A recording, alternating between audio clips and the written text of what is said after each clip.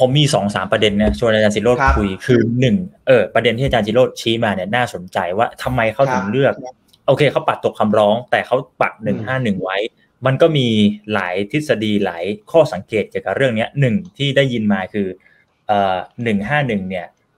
ที่ปักเอาไว้แบบนี้เพื่อเป็นจุดที่อาจจะทำให้สวใช้เป็นข้ออ้างได้ ว่าอ่านี่ไงคุณคุณคุณมีคดีนะ คุณมีเรื่องนี้อยู่นะ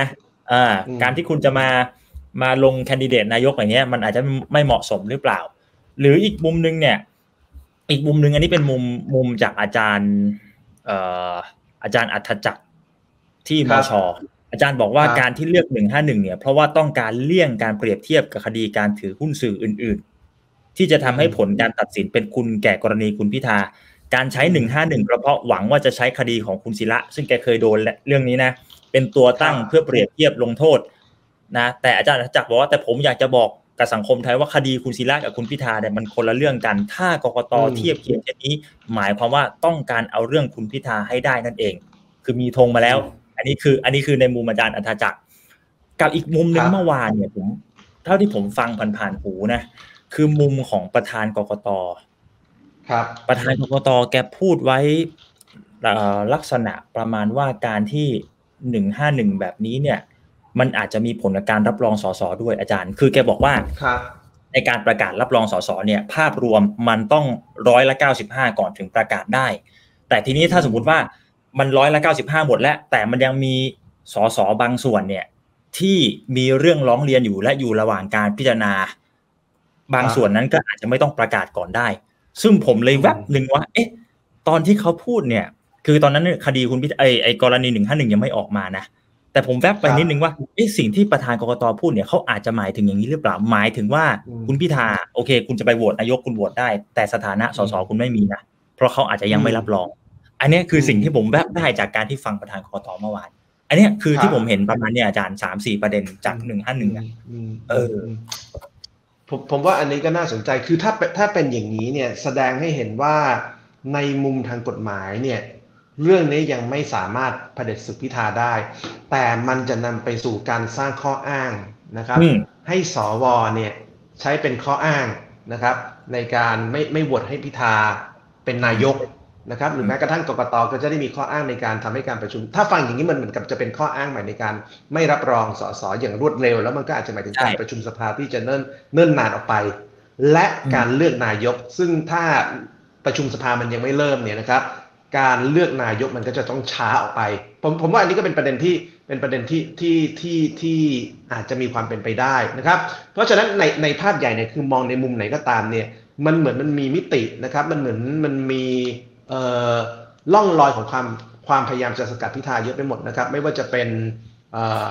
การทำให้เขา ถูกโจมตีทางการเมืองโดยสวหรือว่าการประชุมสภาเปิดไม่ได้นะครับ เพราะฉะนั้นผมว่าสิ่งที่อาจารย์อัจจักรพูดเนี่ยถูกก็คือว่าฝั่งผู้มีอำนาจเนี่ยอาจจะคิดว่าใช้เรื่องนี้แบบที่คุณศิระเคยโดน คุณศิระโดนเรื่องนี้ก็คือว่าคุณศิระเนี่ยเคยติดคุกใช่แล้วก็คุณศิระต้องรู้ว่าตัวเองเคยติดคุกอย่างแน่นอน ถ้าคนเราเคยติดคุกเราต้องรู้ว่าเราเคยติดคุกไม่มีทางไม่รู้ แล้วคุณศิระรู้ว่าตัวเองเคยติดคุก แต่มาลงสมัครสอสอ อาจารย์อัจฉริยบอกว่ากรณีคุณพิธากับคุณคุณศิระต่างกันเนี่ยผมเห็นด้วย แต่ผมก็ต้องบอกอาจารย์อัจฉริยอย่างนี้ว่า อันนี้คิดในมุมแบบประชาชนนะครับว่าพิธากรณีไอทีวีเหมือนกับศิระติดคุก อันนี้คิดแบบประชาเออต่างแตกต่างกับซีรัตติดคุกนะครับประชาชนเนี่ยรู้สึกว่าแตกต่างกันอย่างแน่นอน พิธาไอทีวีนะครับมีหุ้น 42,000 หุ้นในมรดกหาเป็นของพิธา14,000 หุ้น นะครับสัดส่วนประมาณ 0.0035%นะครับเขาควรจะโดนแบบเดียวกับศิระโดนนั่นคือติดคุกนะครับรู้ว่าตัวเองเคยติดคุกแล้วก็มาลงสมัครอย่างนั้น หรือประชาชนเนี่ยผมว่าเทียบความคล้ายคลึงกันนะครับ ของคุณศิระกับคุณพิธาเนี่ยยากแต่ในมุมของประเทศไทยนะครับ ซึ่ง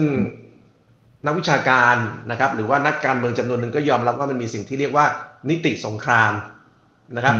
มันอาจจะกลายเป็นเฟสใหม่ของนิติสงครามนะครับ นั่นก็คือหาเรื่องใหม่นะครับในการเล่นงานพิธานะครับ โดยที่ในกรณีนี้ก็คือ การพยายามสร้างวัฒกรรมว่าสิ่งที่พิธาทำเนี่ยไม่ต่างกับศิระ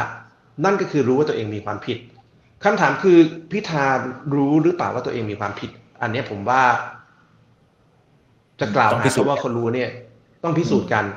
มันแตกต่างกับกรณีคุณศิระเจนจาคะ คุณศิระเคยติดคุก มันไม่มีอะไรต้องพิสูจน์พลตำรวจเอกเสรีพิสุทธิ์และและและคณะเนี่ยไปขุดคุยหลักฐาน หลักฐานจากกรมราชทัณฑ์หลักฐานจากเจ้าหน้าที่เนี่ยมันชัดเจนว่ามีคนติดคุก มันมีความตัดสินของศาลว่าศิระเจนจาคะต้องติดคุก มันมีข้อยุติ แต่กรณีพิธาจะบอกว่าการที่เขาเป็นผู้จัดการมรดกไอทีวี